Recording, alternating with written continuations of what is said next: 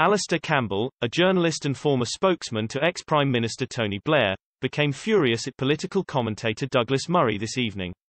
Murray accused Campbell of throwing around pseudo-medical terms about leaders while they debated the current position of Boris Johnson, alongside Piers Morgan.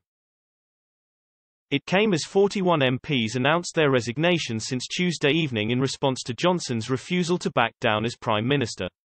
As the chat became heated, 65-year-old Campbell said I'll see you later, before ending his call. Following the breaking news that Johnson has sacked Michael Gove, Campbell had commented, This is what happens when you elect to the highest office in the land, one of the most serious jobs in the world, somebody who is fundamentally not serious.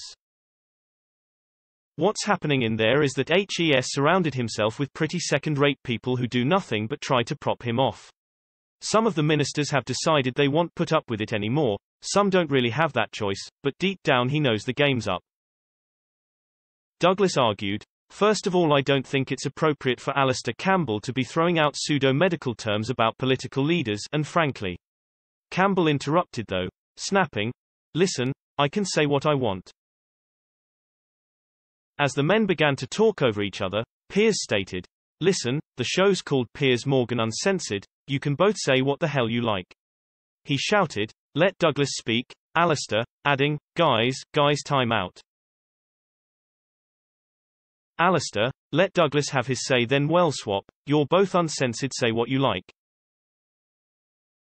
A visibly irritated Campbell replied, if you're going to bring me on to talk with these right-wing non-entities who are part of the problem in this country anyway, people like Murray and The Spectator, where Johnson was spawned, they are part of the problem. They created this beast.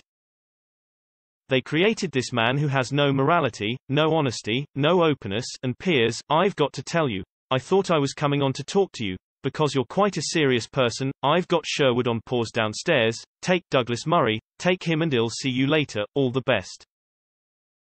Thank you, Alastair Campbell, Piers replied, as Murray grinned and commented, lots of love. Campbell shut down his screen and left Piers to explain. We've sadly lost Alastair Campbell. Douglas Murray, given you had the grace to stay with me, would you like to have the final word? Sure, he replied. Alastair Campbell and some of the very bitter Remainers have just been one of the reasons why Boris Johnson has been able to stay.